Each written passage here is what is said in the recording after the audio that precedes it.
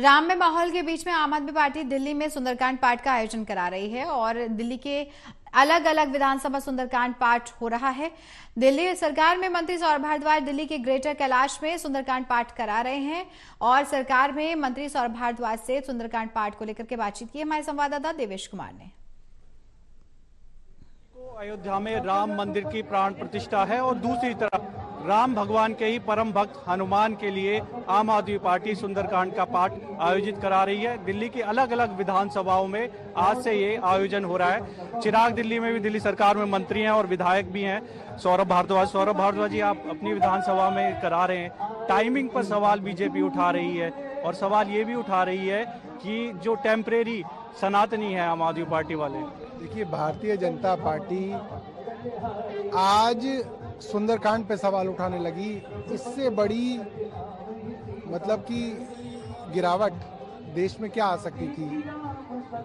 मैं कह रहा हूँ, भारतीय जनता पार्टी करा ले सुंदरकांड, कल करा ले, परसों करा ले, आज करा ले, हमें तो कोई समस्या नहीं है। उन्हें समस्या है, मैं बड़ा हैरान हूँ। लोग तो उन पे भी सवाल उठा रहे हैं कि राम मंदिर अभी बना नहीं है, अधूरा है।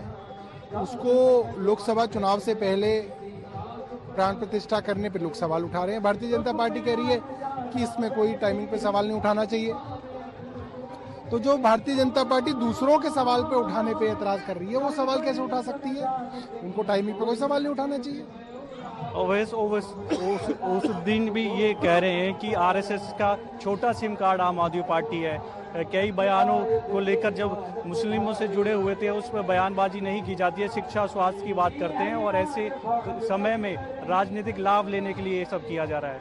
देखिए, ओवैसी साहब को जवाब देने की हमें ज़रूरत नहीं है। हम तो ये चाहते हैं कि हनुमान जी उन्हें भी आशीर्वाद दें, उन्हें भी सदबुद्धि दें। बीजेपी के तमाम नेताओं को भी बुलाओगे जिस तरह निमंत्रण का प्रोसेस चल रहा है? हमने तो सबको बुलाया हमने सबको बुलाया है। मैंने मेरी ब्रॉडकास्ट लिस्ट में जितने नंबर हैं बीजेपी कांग्रेस सपा बसपा सब लोगों को जो है इसका निमंत्रण किया है। सबके लिए खुला दरबार है। आए आशीर्वाद लें।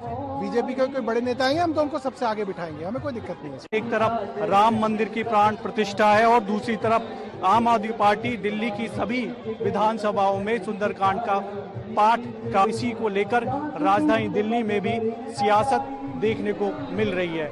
कैमरामैन मनोज कोहली के साथ देवेश कुमार टोटल न्यूज़